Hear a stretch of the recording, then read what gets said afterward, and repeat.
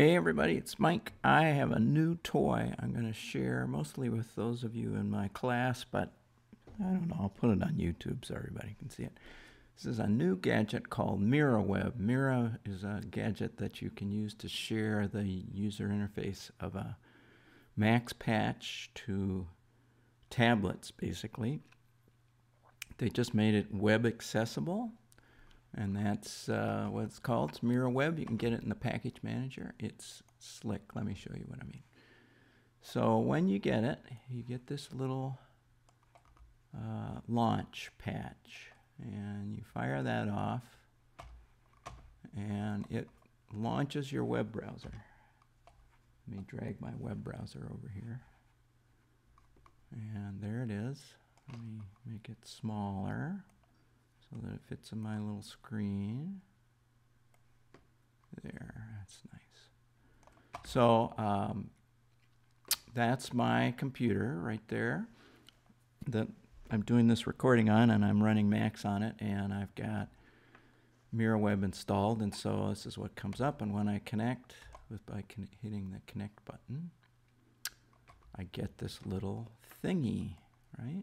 That goes up and down in that cube. And if I go over here, I can see that it's Mira connected to this Max patch. And the thing that's the magic in this patch is this Mira frame object. And so if you, uh, you know, you can get a little help there and there's a lot of stuff in that help patch that's really cool. And uh, all you do basically is add these Mira frames to your existing gizmo and it shows up.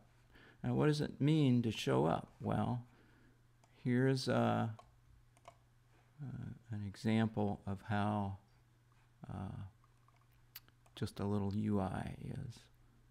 And uh, just to give you a different example out of the project that I did for the class, so I made this little dashboard that's uh, driving along, keeping an eye on the electricity here at the farm, right? And I was thinking, God, this would be really cool to put out on the web. And then I was thinking, that's really hard. But it's not anymore. I'll show you how you do it you sit there and you go into regular old patching mode and you throw down a new object, new Mira frame, and you go like that, and you drag it up into the corner because this thing in presentation mode, all the little dials are going to go up in the corner. So you drag it, and it, the, the aspect ratio is fixed. So it, because it's going to go on a tablet. That's Mira's whole thing is tablet. so you don't get a lot of flexibility in terms of the the thing. Now I want to add this to presentation, which you, oops, well, let me move up here. I put this in presentation. And so now, if I go into presentation mode, I can still edit the Mira frame. And you can see that the way I laid this dashboard out uh, doesn't quite fit, but that's okay because I can probably move all this stuff. So let me move all that down just a little. I'll take the Mira frame out.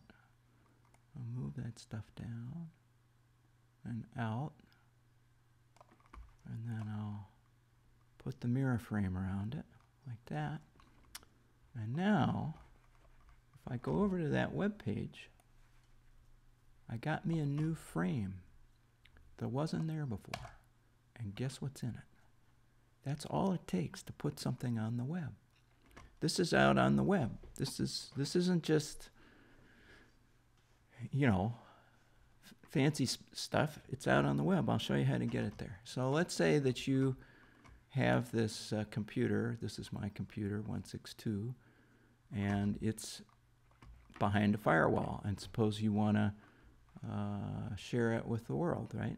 So you go to your router. Mine's a TP Link router, you go to virtual servers that's forwarding. You, it's got help if you don't if you don't know how to do it.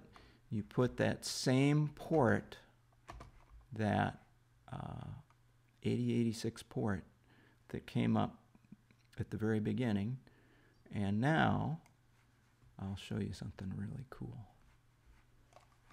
I've got a virt I've got this is a this is a server in that's 150 well 100 miles away, and I have it logged in this same thing. So I could I'll show you how. So my my uh, little galaxy here is farm.haven2.com, and if I go to port 8086, which is the one it told me to go to back in the beginning, and it connects. It's going to take a minute, probably because of. Let's take that. There we go. Probably confused it. So now it gives you that little splash screen, and you say, Sure, I'll connect to that. And in a minute, there's that screen, right? So I can make this go up and down. And let me find that uh, that other window.